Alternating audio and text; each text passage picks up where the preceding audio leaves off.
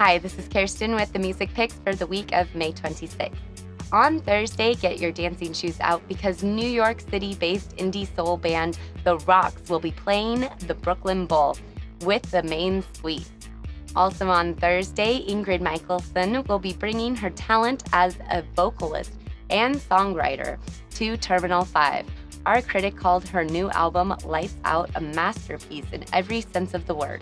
And on Friday, diNMachine will be bringing their electro pop punk sound to pianos for their album release party. Plan to be baffled and entertained. For more information on these events and more, check the full listings at stagebuddy.com and have an entertaining week.